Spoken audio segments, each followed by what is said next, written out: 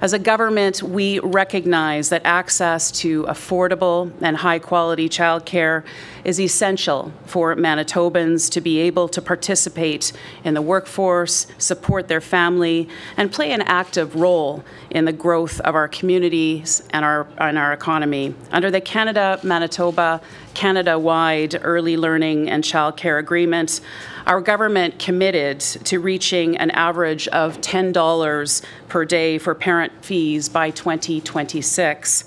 But today I am proud to announce that with significant initiatives Manitoba has implemented over the past few years, we have gone above and beyond that commitment and have done so three years ahead of schedule.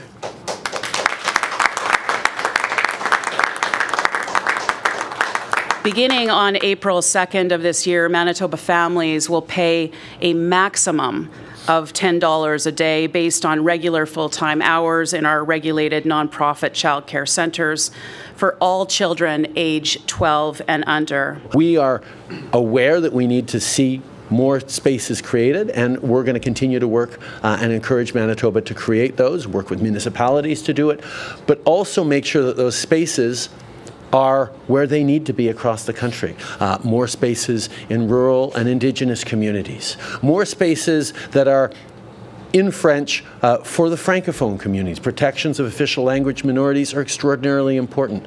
These are things that are built into the agreements that uh, we're happy to see Manitoba make significant advances on and we'll continue to be there to uh, help them do even more.